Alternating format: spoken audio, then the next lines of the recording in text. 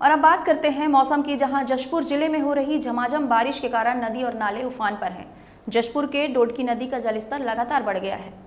नदी में उफान से वाहनों की लंबी कतारें लग गई हैं, वहीं घंटों तक आवागमन बाधित भी रहा और स्कूली बस और यात्री बसों में भी जाम में फंसे रहे।